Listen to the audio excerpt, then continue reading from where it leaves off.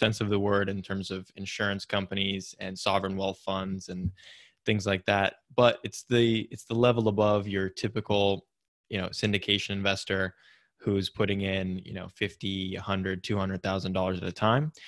So, you know, the first definition, let's define what I mean here. Institutional investors in our context are groups that are writing checks anywhere from you know as low as 1 million to really up to 15 to 20 million dollar checks. And uh, this could be a high net worth individual a family office private equity fund opportunity fund and you know whatever else they want to call themselves. So and what's interesting is there's a little bit of a myth and allure about uh, about this type of investor and you know is is it possible? Do they exist how do you raise money for that with, with them? And uh, is it for me? And so you know this first slide i just want to say you can do it. So if you're listening to this and and you've you know raised only um, retail capital as as we call it 50 to 100 thousand dollars at a time and you just think well you know the the big checks are for the big boys um, i'm not there yet. You know i encourage you to think again and look into this uh, as a thing that this is something that you, you could really be doing um, you know today. So along those lines here are just some of the the myths and things to to get you thinking more in this way and get you excited about partnering with institutional capital. So number one you don't have to be a fully established super legit operating business to qualify and attract larger institutional checks. So what I mean is you don't have to have a you know 100 person office with a full accounting team fund administration um, asset management team acquisitions team multiple offices. You you don't. Nor do you have to have a 10 year multi-cycle many exit track record. Um, as i'll talk in the next slide really once you've done a couple of deals hopefully have had an exit either through a sale or refinance, you really are able to have those conversations and you know partner with these with these companies. Another myth is um, you don't have to. So one of the ways that these institutional deals get structured is a 90-10 is what it's called. So the joint venture capital provider is going to put up 90% of the equity and it'll be your responsibility to come up with the latter 10% and on a larger size deal where it's a $10 million equity check you know you have to come up with a million dollars. And so some people think well that actually has to come out of my pocket because that's one of the big requirements. They want to see skin in the game. And if you don't have a million dollars well i guess you just can't do the deal. And that's just not true. So that's another myth. Um, you know you still do have to come up with a million dollars but that's where your skills and previous relationships in your um, retail syndication experience comes into play.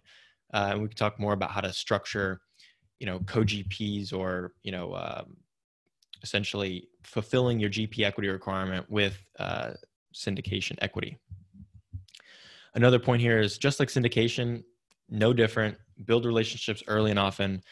You know have these conversations prime the pump, talk deals, and um, you know get get on the path to to, cl- to closing your first deal with a you know a larger institutional partner. The last point here is the elusive minimum check size myth.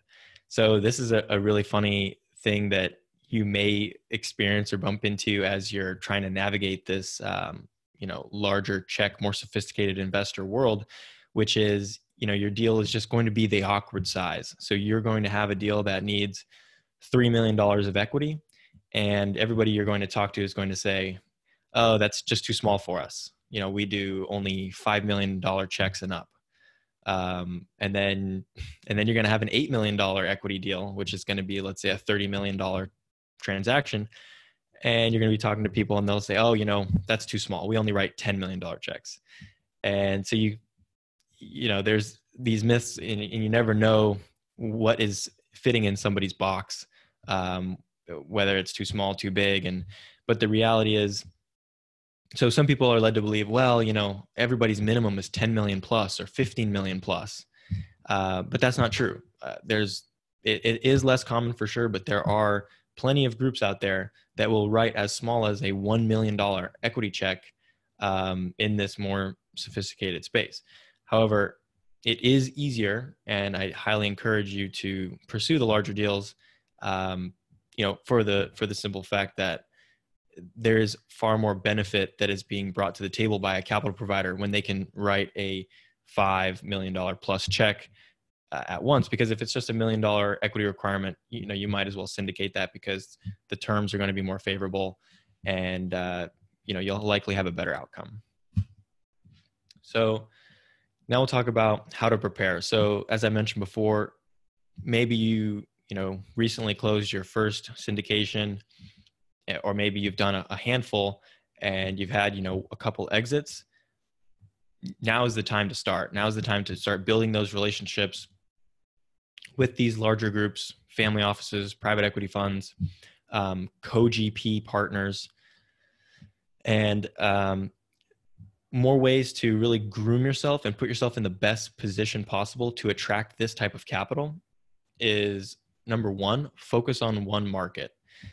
I cannot stress this enough because this is the first question that um, investors ask, and it'll be sometimes just a non starter. And you want to be known as that local partner. The pitch is because these groups have their own investors. So if they're an opportunity fund with $100 million or $500 million, they have to answer to their investors. And they have to make sense of what they're doing. And their pitch is we've got the capital, we have the market experience, but we're relying on a local partner with true boots on the ground and and market experience to help us you know find the best deals and, and navigate us through that so if you can position yourself as that local sponsor you'll have a much easier time uh, really passing that that small initial hurdle um, because especially for a first time deal meaning it'll be your first deal working with this capital provider it's it's very difficult to convince them to go to a new market with you because now they have to answer two very big questions. They're creating a lot of headline risk for themselves uh, when they answer to their investors uh, because they're asking you're investing with a new partner in a market that's new to you and them or or just new to them um, you just don't want to to bring up those questions so if you can if this is the path you want to go down i highly encourage you to go deep in one market now become that local sponsor that they're seeking. Now, the next thing here is the pros and cons of, you know, the next question is what market to be in. Uh, should you pick a bigger market or a smaller market? And there's really uh, no right answer, but there are certainly pros and cons of both. So if you talk to, you know, larger uh, investors, they typically will want the the brand name markets, the growth markets, such as Phoenix, Denver, Dallas, Atlanta, S- South Florida. And those markets, as we all know, are extremely competitive, um, very hard to find good deals. You're competing with, uh, you know, larger, more experienced uh, operators, and it can it can be much more difficult. So the question is, what part of your job do you want to be more difficult? Finding a good deal or finding investors. Because if you're in a smaller market that you can, again, go deep as the local sponsor with the boots on the ground, you'll have an easier time gaining a competitive advantage and finding better deals. But you'll have to overcome that smaller market hurdle and, and you know, less quality market hurdle uh, with your investors. So it's, it's really a choice. And um, you know it may have to do with where you're at and the size of deals that you want to do because there are absolutely this might even done well on the previous slide in terms of myths. Um, institutional investors are absolutely comfortable going to smaller markets even tertiary markets. You just have to find the right investors that will partner with you on those types of deals but you can absolutely make it happen and um, you know it may be a great way to start out and gain momentum and then get on to the bigger markets bigger deals and, and grow your portfolio so the next way to prepare yourself to be most um, you know groomed to take on institutional partners is to be vertically integrated. Uh, what that means is starting your own property management company and uh, trying to bring in as much of the operation in house. Um, for you know, for right or wrong, we can talk a little bit more about that. Investors see that your in-house operations, your vertically integrated company, is bringing a lot more value to the table than if you're just the sponsor who's hiring out the third-party manager and they're paying you to then pay the manager. They, they don't like that, and again, it's creating another headline risk or you know they have to answer to their investors and saying well you know you're paying this person tons of money to just hire a third party management company to take care of the job. Obviously everybody who owns property here knows that that's not how it works. When when you do hire a third party management company there's a ton of work involved still managing the manager. Nonetheless the majority of investors frown upon uh, third party management companies and for some it's even a, a non-starter. So a requirement to do business with them is to be vertically integrated. So uh, take that for what you will. I've also spoken recently to a, a fund that uh, doesn't like vertically integrated sponsors. And it was actually really interesting. Heard it on my podcast and n- never thought about it this way but he explained that when you have a vertically integrated sponsor and the third party management you know the sponsors management company is underperforming you're going to have a, a, a, much worse time firing that management company and bringing in a new manager because you know it's all intertwined. So he didn't like that because in the event of a, of a firing of the third party management company it was just a, a more tenuous situation. So it was an interesting perspective that i hadn't thought of. But i highly recommend that you start thinking about how you could go about starting your own property management company if you want to you know really move into this direction of of joint ventures and co-gps and and doing hopefully larger deals and larger equity checks uh, from more sophisticated investors.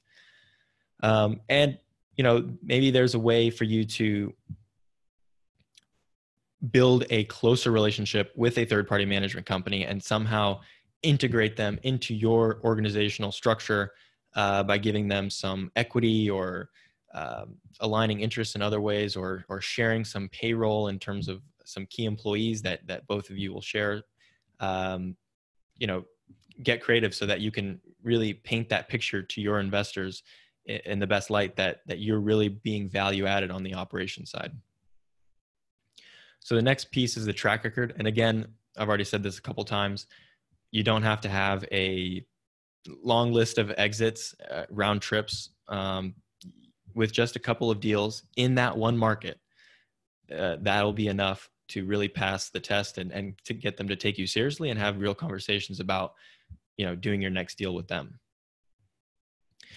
And the next few things are, uh, you know, smaller uh, items, but infrastructure. So professional appearance, office, organizational chart uh, you know they want to know that you're a real business that this is your full-time thing uh, you know you are here to stay you have a you have a team this isn't just you working out of your your house.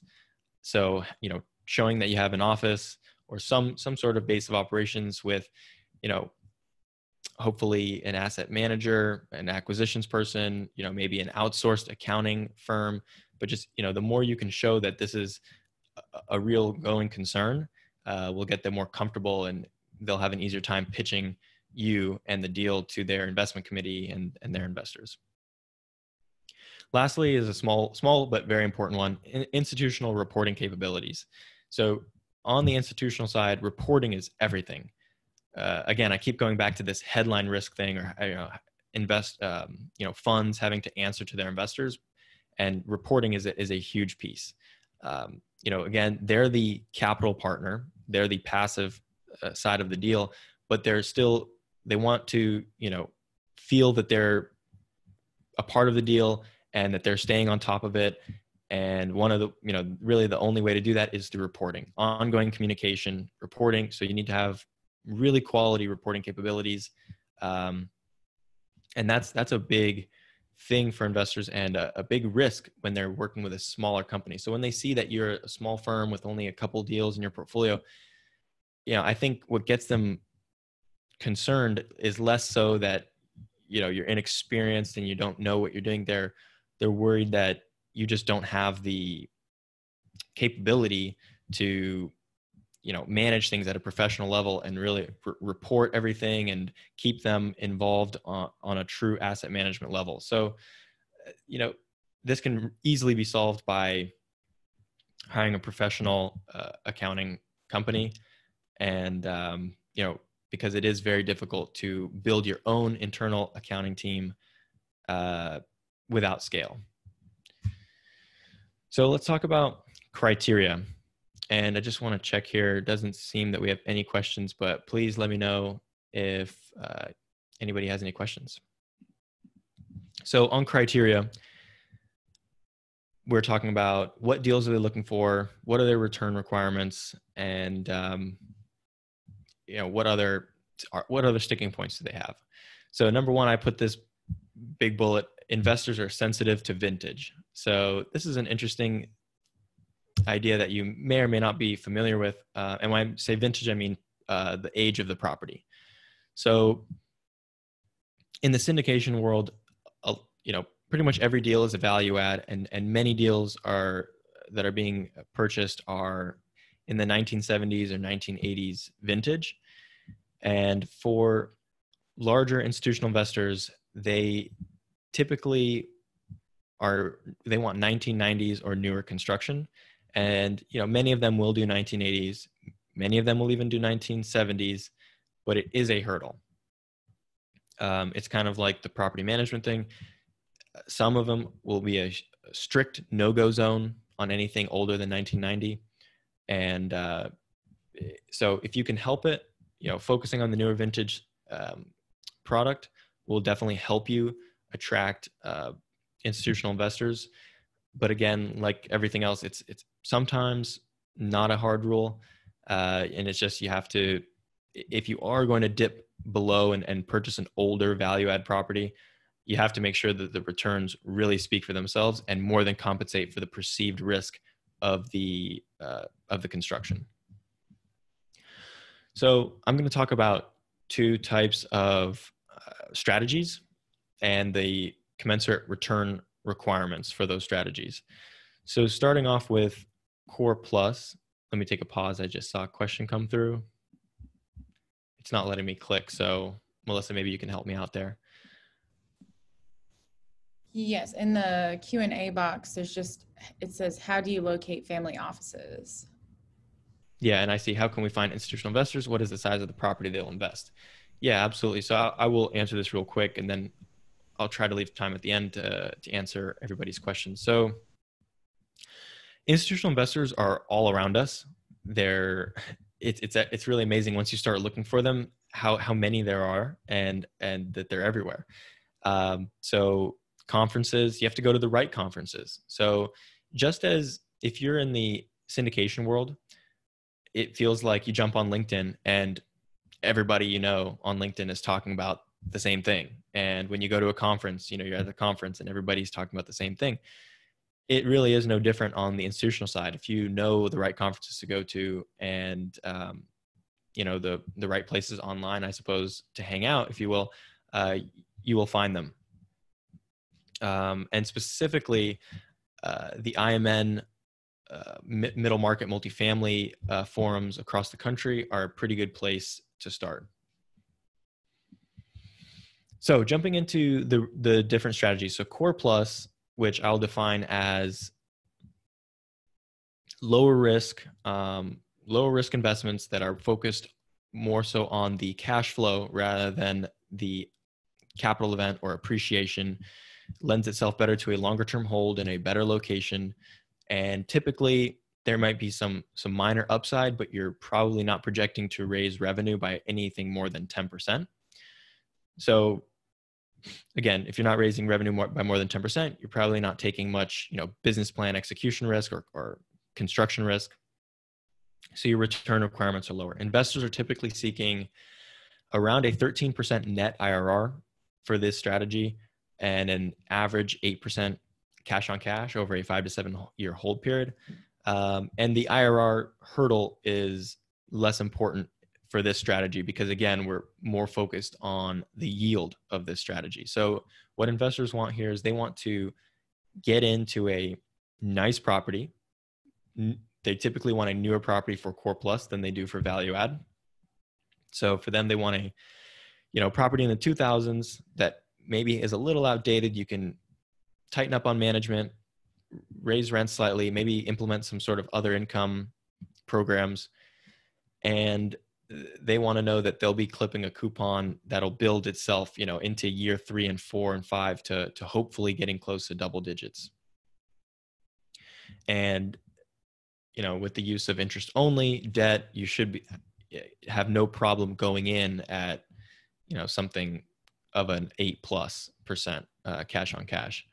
So this may not sound super challenging but if you've ever underwritten a property that is in a true B B plus location and was built in the 2000s or newer, you'll know that you know the cap rate is going to be somewhere around five or less, and uh, you know squeezing those sort of cash flows out of a deal like that can become challenging. So, so that's the core plus side.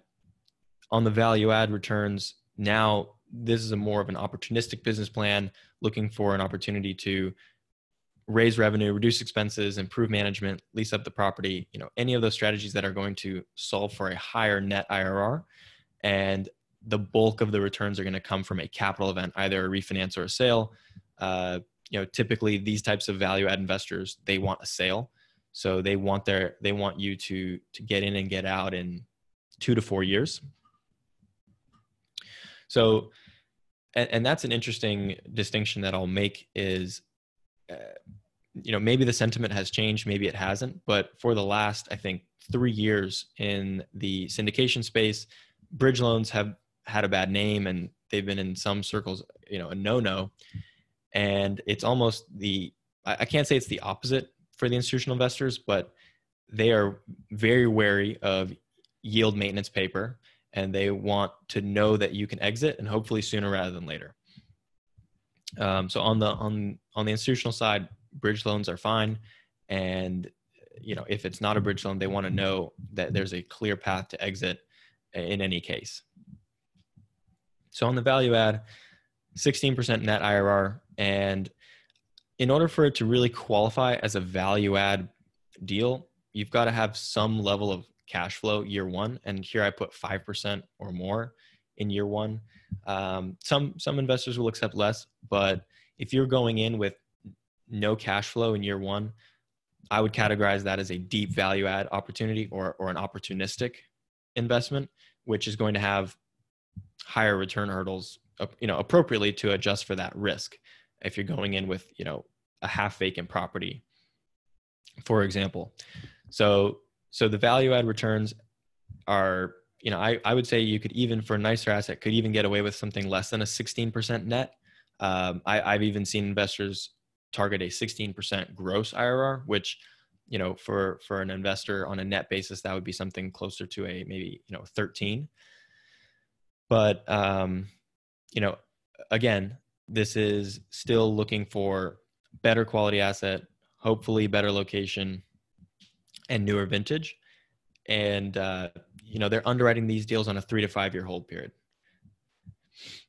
and then another thing is the equity multiple so equity multiple may or may not be important to you or your investors at this time but uh, for institutional investors especially for the uh, for the value add they're looking for an equity multiple of 1.8 to 2 over a five to seven year hold period, depending on if it's you know a true value add or, or more so like a core plus investment. So definitely start paying attention to your equity multiples and look at your deal and you know really stack stack it up and, and say okay well you know how close am i getting to a 2x on a five year hold and and you know that's if you're underwriting conservatively that can absolutely be a challenge Yeah, for some reason it's not letting me click the Q and A box, but I see two two Q and A's up there. So, um, you know, I apologize about that. If you want, I, I am able to see the the chat box. Okay, so hopefully we can answer those questions, but I'll jump to uh, structures. So typical joint venture and co-GP structures. So my first bullet point here is you have to give up control. So this is a, a huge difference between a syndication and a joint venture with a sophisticated equity partner. Uh, they, they really want so in a syndication you have all the all the say all the control you create the ppm and the operating agreement and then you hand it over to your investors and they sign it and that's it and you know typically the language in that document is that you have all the control etc in a joint venture it's a back and forth. It's all a negotiation. It starts with an loi or a term sheet and then it goes into negotiations of a legal agreement. And uh, you know this for me personally is a lot more fun and i like thinking through different structures and how to you know slice up the pie grow it and, and make everybody happy. And uh, but one of the big distinctions is in those legal agreements they are going to have you know major investor decision rights and uh, which which relate to you know whether to sell or not whether to refi you know remove right to remove manager and different things like that. And, and one thing i always say is it doesn't matter what the legal documents say. Whoever has the most money invested into a deal they're the ones that has control. I'll take a quick question here. In this current market do you think investors are willing to accept a lower preferred return in the context of joint ventures and institutional equity partners uh, definitely no. Um, and here we're, we're right here talking about um, you know an 8 to 10% preferred return. Uh, that that's pretty standard. For the value add stuff it's you know better and and more standard to see something like a 9 or a 10 and you know what's interesting is even on a core plus deal where you're only projecting to have you know 7 or 8% cash on cash over the life of the investment you know you might still be in the deal with an you know eight nine ten percent preferred return. Um, so yeah i definitely don't think that investors are going for a lower preferred return. So so yeah so hopefully i explained the control. It's just something that you have to get comfortable with. Uh, it's you know never really been an issue for us because we felt that we're partnering with somebody who's really smart has a lot of experience and our incentives are, are aligned and, and we're really going to be comfortable with their decisions so going on to typical joint venture structure. So as I mentioned before, typical is a 90-10 equity contribution where the equity partners putting in 90% of the equity and you're, you're responsible for 10% of GP equity. And this is really actually an interesting thing because looking at the syndication model, there is no GP equity and there is no there's no tranche in the capital structure for the for the GP equity. The the general partner will invest into the venture as an LP. So they'll participate, you know, their capital will participate as an LP, uh, which means hopefully on the same terms. And it's not a bad way to go. But what's what's interesting in a true joint venture is actually there is a a general partner capital account and a limited partner capital account. So things can get more interesting, and there can be uh, disparate priorities and returns uh, based on the structure um, for each capital account. So as I mentioned, we have an 8 to 10% preferred return as pretty standard across core plus and value add. Opportunistic, you can even see a 12. And a unique nuance, uh, which I believe I discussed uh, on the last MFIN in terms of, you know, actually looking through my spreadsheet and, and waterfall and analyzing deal structures is the the IRR hurdle nature of the preferred return. So a lot of us know a preferred return as essentially working like investors are owed the first X percent of cash on cash. And then once that preferred return has been met, the remaining cash flows available for distribution are are split at the promote rate. So, and in a more institutional joint venture structure, that is almost never the case. And what it, the way it works is it works like an IRR hurdle. So actually, you're solving. So no matter how much cash flow you're producing, all of it goes to the investor. 100%. And on upon a sale or upon meeting the IRR hurdle, which would be a 100% of return of capital and a 8 or 10% preferred return on top of their 100% return of capital, then the promote would kick in. So as you can tell, you know, getting an investor all their money back would be really difficult without a sale. I mean, even in a refi scenario, that's very challenging. So the way that the IRR hurdle works is upon the sale, you know, so through the life of the investment, you've been kicking out cash flows to your LP, and then upon sale, you're going to run the the investment's cash flows through an XIRR um, calculation, and XIRR just is an Excel um, formula which assigns dates to cash flows, and so it calculates your your IRR calculation by the day, and uh, and and it's solving for a the hurdle rate of eight or ten percent.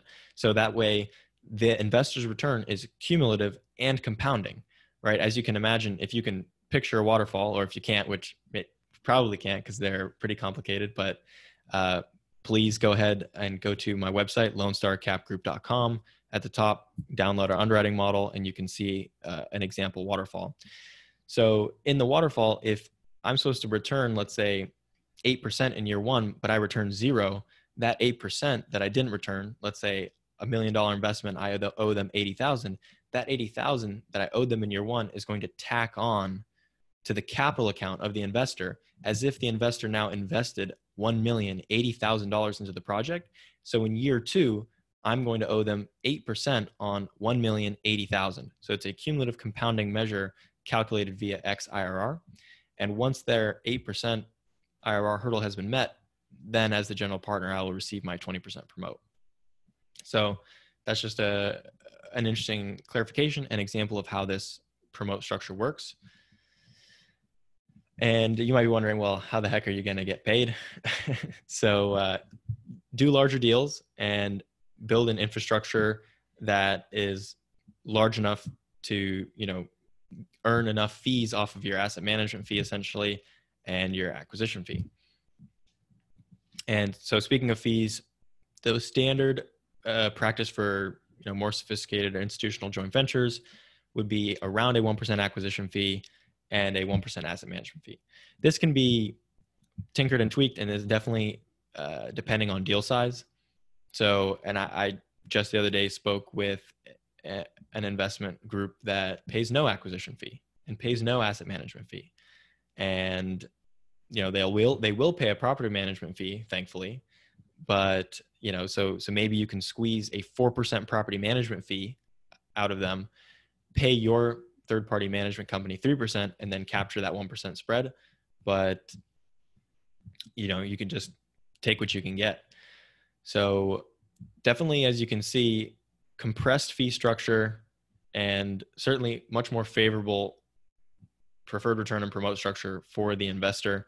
Now what's interesting is as I explained, if you're the sponsor and based on the IRR hurdle, you don't make any money until sale, what is your incentive? It is absolutely to sell.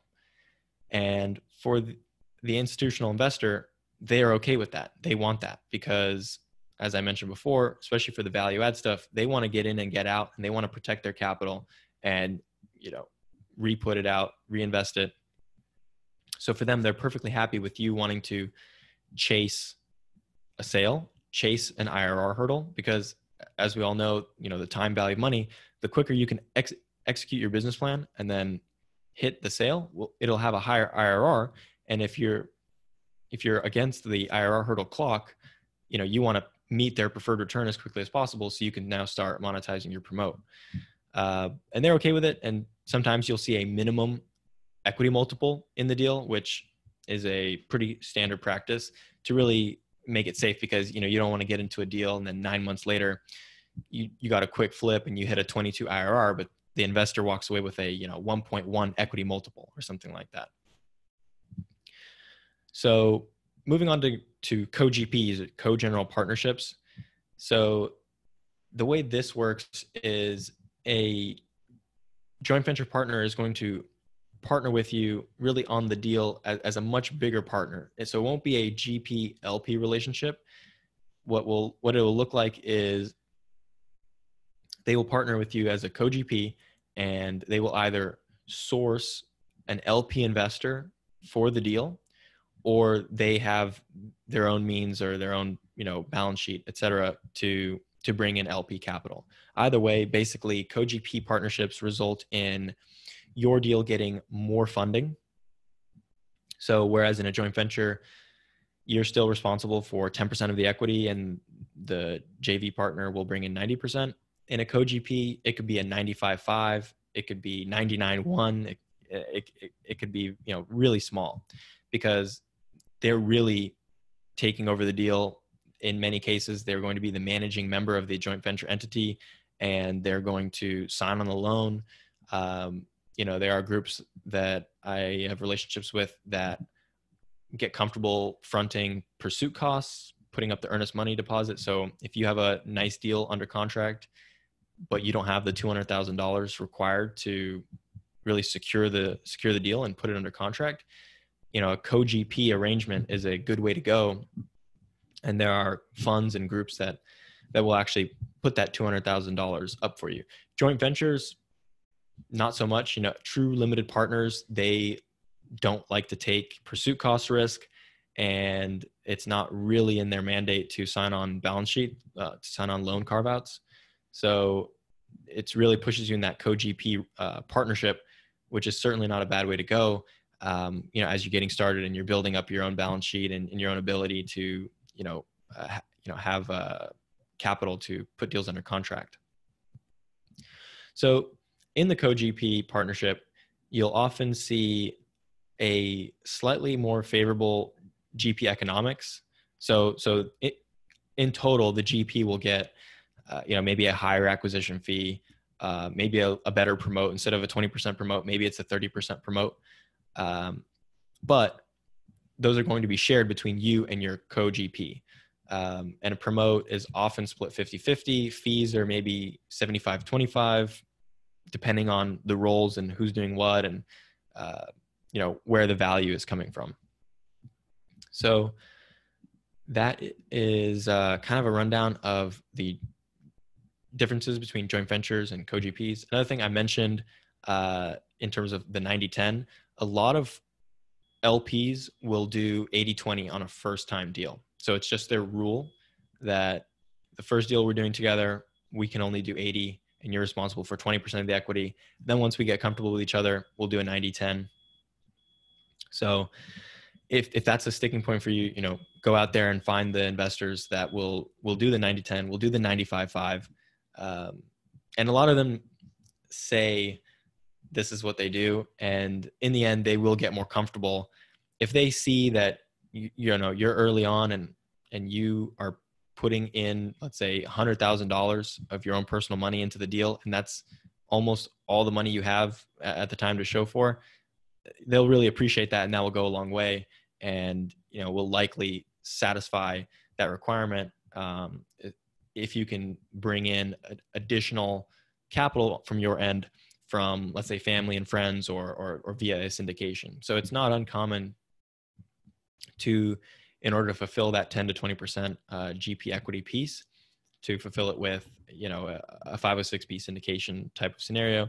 There's also um, GP funds. So there are are companies that the only thing they you know the only thing the only purpose of their fund is to find uh, GP equity requirements and and con- contribute it. So it's it's really fascinating how it all works because you'll go and get a 90-10 JV with your LP, and then you'll go to your your co-GP fund that'll put up 90% of your GP equity requirement, and then all you're putting up is 10% of your uh, GP equity, which if you look on a global level in terms of uh, the 90-10 equity slice, uh, you're only putting in 1% of the equity. And as you know equity is levered so you know your hundred thousand dollar piece of equity would be you know a i don't know 10 million dollar deal or more other deal structures so as i mentioned before things can get more creative uh, with more sophisticated parties and with a capital account for the gp and a capital account for the lp and what i mean by that is you can do things like senior subordinate structures where the L so the LP's capital is going to be in a preferred position over the GP equity. So you're actually putting your capital at risk first. And once the LP has received a certain rate of return or something like that, uh, then your capital can maybe catch up. So they get a 6% first, then you get 6%, then your pari passu to a 12.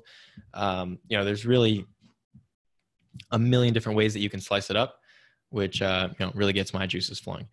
Uh, preferred equity is something that you're going to start running into a lot. Once you start trying to go out there and network and, and meet these institutional equity partners, you're going to see that many of them are real estate finance companies and they have a full spectrum of programs that they offer uh, to really fill the need of, of any borrower or sponsor. And the reason why I said borrower is because they often have debt facilities involved in their programs. So they'll range from providing senior bridge debt to mezzanine loans, um, preferred, you know, non-participating preferred equity, uh, and and participating preferred equity, and then finally joint venture equity, which is what we were talking about previously.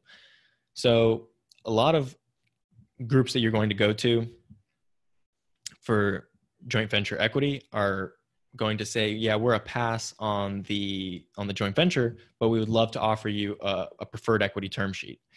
And the reason why they're willing to do this is because they know they're coming into the deal in a secured position, you know, in a more secured position in the capital structure and with with still very favorable economics.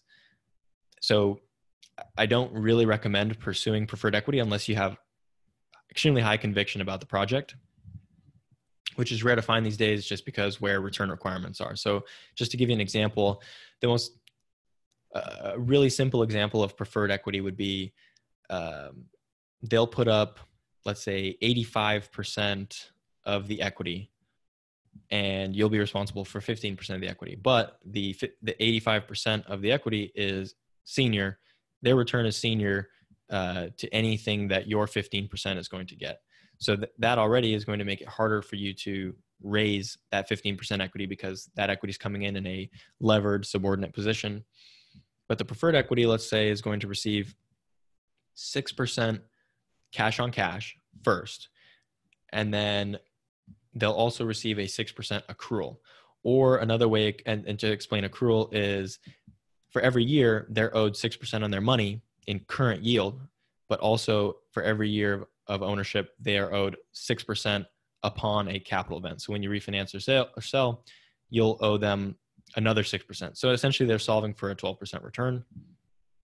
Another way that they can structure this is through a through a sweep where it'll be something like uh, you know they want to receive uh, 10% cash flow and the first 6% will go towards paying their their current yield requirement and then the latter four will go towards paying down their capital account. And the way the way they want this to work is they want their preferred equity position to amortize down through the life of the investment so that their their last dollar of exposure in the capital structure is you know to a point that when they're anticipating a, a refi or a sale five seven years down the road um, you know there's just higher likelihood that they'll be able to exit and meet their returns.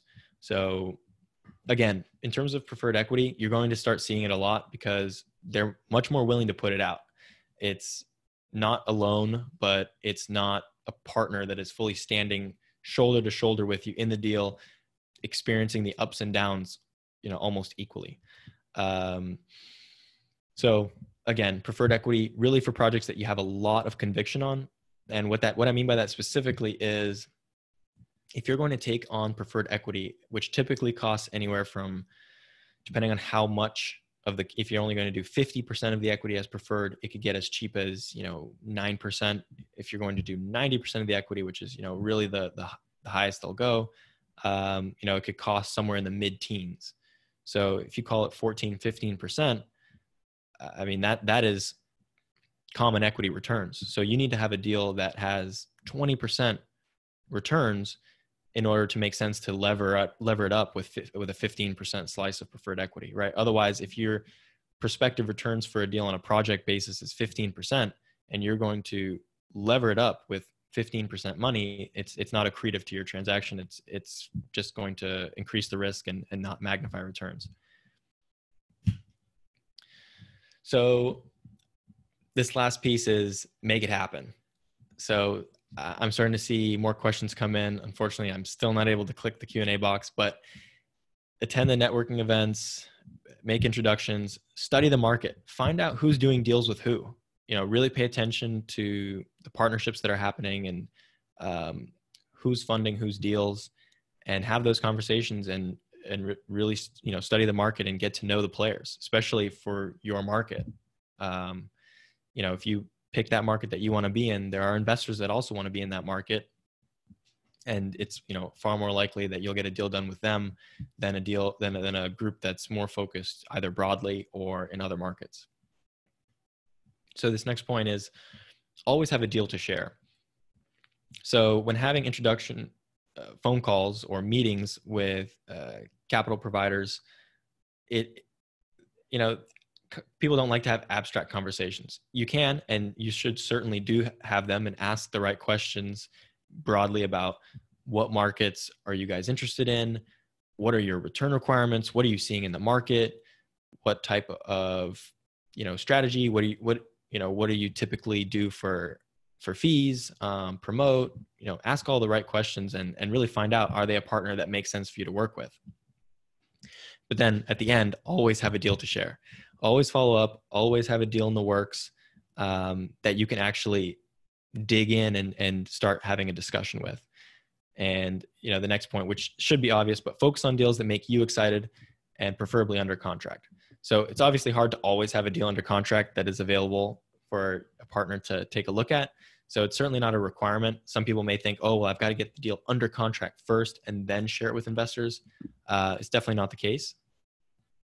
But when I say focus on deals that make you excited, you know, uh, this is a, some advice that I heard from from a fund in Florida that has, uh, you know, four hundred million dollars of equity, and, and, he was saying that, you know, one of the biggest things is just he wants to see, you know, the operating partner excited about the deal, and not just look at it as you know another transaction and you know just a way to earn a fee and move on. So deals that make you excited, and certainly if it's under contract, they will be much more willing to take a good hard look at it because they know it's you know fully baked and that that there's a real opportunity it, it is frustrating for everybody involved when you're digging into a deal and then you you lose out in the bidding process or or what have you. This next point know your deal cold defend your numbers. So you know the conversations around a deal uh, with with these partners is very involved super in depth late nights and you need to really know your numbers and you need to be able to defend them because it's your job to present the most aggressive um, you know set of the numbers because it's their job to knock them down so this is not your time to say i'm a conservative investor and or conservative underwriter and all this stuff because they're going to look at your numbers and assume you're aggressive and they're going to assume that's the baseline which they're going to work backwards from so you're putting yourself at a disadvantage. You need to be excited, be aggressive, you know, really put the deal in the best light and defend it. You know, have the data to back it up. The CoStar, the Yardi, the market research. You've called the comps. You've, you know, you you you've been there and and all of that stuff. So they want to see, you, you know, they're looking for you to defend yourself. And uh, it reminds me of a phone call that I had where you know they they were doing their standard you know your exit cap rate is too low and um, you know which they'll, they'll say it without even thinking it's just the standard thing because they're just assuming oh the exit cap rate's too low i'm going to bump it up and and make myself feel better. And i i said no actually i made a mistake. My my exit cap rate is is too conservative. I i think we should actually lower it by 25 basis points and here's why and here are the comps to support it. And they said oh actually yeah we checked it out. You're right.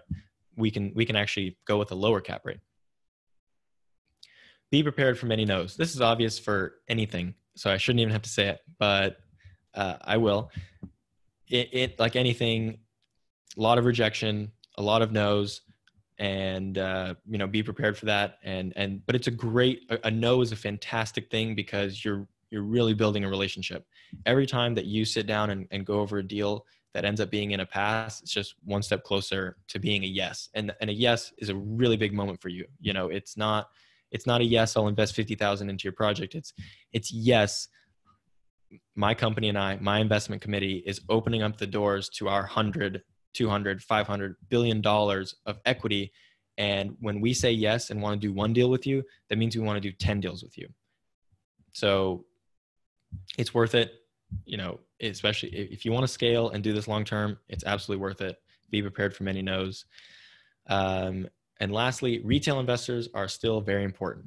So if you know that this is the path you want to go down, you want to structure big joint ventures and uh, you still should focus on building relationships and, and raising capital and working with the smaller retail investors. There's as you can tell from the different structures that we discussed and different ways that deals come together, there's always going to be ways to fit your you know family and friends type of investors into your deals and uh, you know they can be extremely valuable when when there's gaps and things like that. So let me take a look at the chat. Can you explain more detail what the equity multiple is? Yeah that is my fault. So jumping over here really quickly the equity multiple is simply your money over money return and it's irrespective of time. So if I double my money in any amount of time, it's a two point, it's a 2x equity multiple. So the reason why you always have to specify, you know, time with equity multiple because it's it doesn't take into account time. So that's why I say here uh, a 2x over 5 to 7 year hold period. Hopefully that makes sense. So uh, I, I see five Q&As. Melissa, can you help us out with the Q&A? Yes. Um, let's see. You just uh, you may have answered because some people they went to the chat. Yeah, I don't know if you answered. How do you locate family offices? That was the first one. Um, can you do a brief rundown of promote? I'm not sure. Sure. Yeah. So let me do that really quickly. So so promote is a performance-based compensation, usually subordinate to a preferred return. So as we talked before, a preferred return is the priority level of return that an investor gets before the promote kicks in. And so basically, without putting any money in the deal, the general partner is entitled to a certain amount of the profits after the investor has received their preferred return. In a 20% promote scenario, where you, you sold the property there's a million dollars worth of profit after the investor has gotten all their money back and received their preferred return now you're able to split that million dollars worth of profit 80 20 so 20% of that would go to the sponsor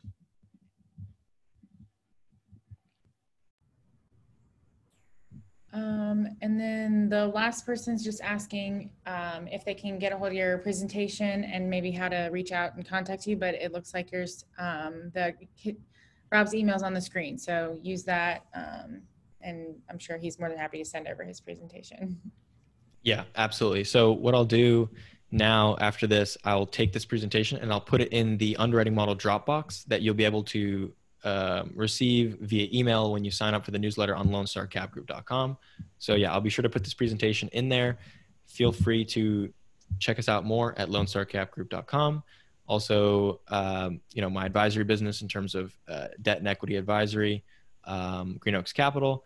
And if you want to reach out to me directly, there's my email. Happy to, you know, discuss anything further or jump on a phone call. Awesome. Thank you, Rob. That was um, very informative. Great session. Um, and um, let's see. All right. So we will, we're going to head into a short break. Let me do this. Yep, we're going to head into a short break. Um, I did want to mention before we go to break, we have just another minute or so. Um, so in room, so we are at, so we'll come back at 3.45. So in room one, we'll have a panel of state of the mid 2020 multifamily market. And then in room two, here with here in room two, we will have um, Tom Lawn with, and he will be discussing discover the best place to stash cash and make it bulletproof. Um, but before we go, I wanted to mention um, we have a nonprofit that we are trying to to raise funds for um, during the summit this this time around. So I wanted to put these two links into the chat box for all the attendees. Please go check it out. we actually just got word that um, all donations are going to be matched up to $5,000. So um, go check it out. It, it supports, um, it, the foundation supports Christian, um, small to mid-sized Christian um, schools. So um, go check that out. It supports um, scholarships, funding, um, paying teachers, all sorts of things that go along with running a private Christian school.